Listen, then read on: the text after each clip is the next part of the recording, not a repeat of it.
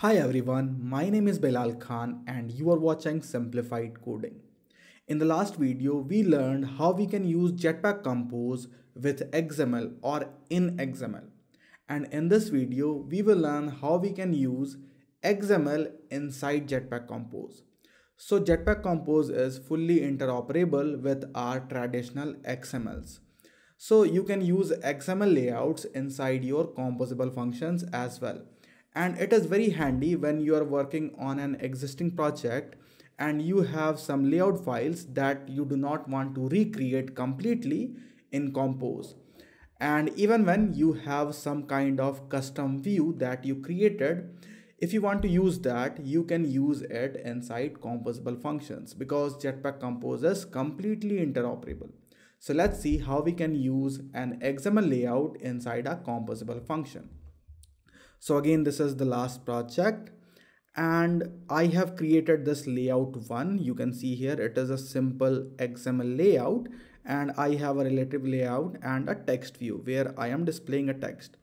Now I will show you how we can use this layout one.xml inside a composable function.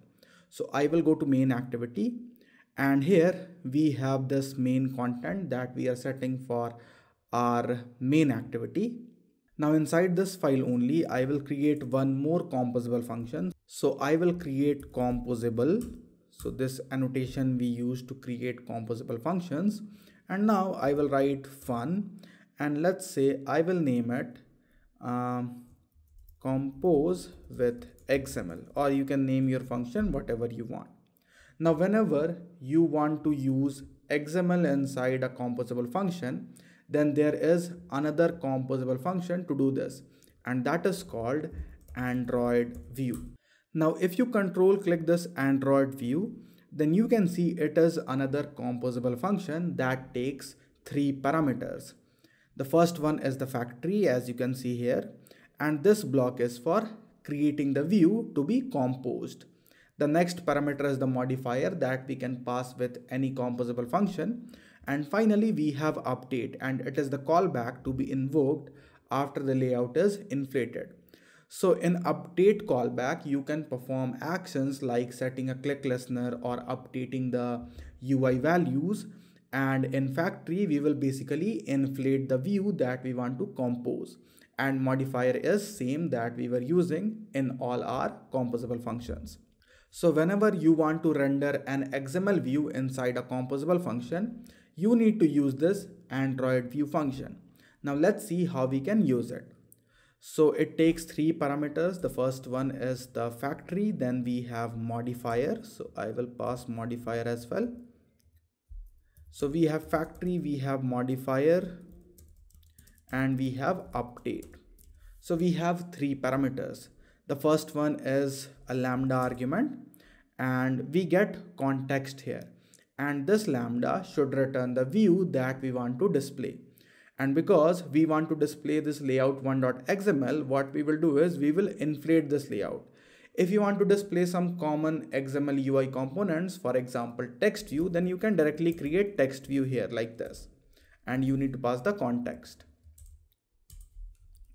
But in our case, we want to inflate this layout1.xml that we already created. So what I will do is I will write here view and then I will call the function inflate that we use to inflate the XML layout files. For the first parameter, I need to pass context that I have inside this lambda argument. So I will pass it. For the next parameter, we need to pass the ID of the layout that we want to inflate. So I will pass r.layout.layout1. The last parameter is the parent of the layout. In this case, I do not have any parent. So I will pass null here. And that's it. I have inflated the view that I want to display inside this composable function. Then after the view, we can pass a modifier. So for now, I will just pass a simple modifier that is modifier.fill max size. Finally, we have this update where we can update the view. So inside update lambda, we will get the view that is inflated and rendered. And with the help of this view, we can manipulate the view. For example, we need to add a click listener or we need to update the text. For example, we have this layout one here and inside layout one, we have this text view.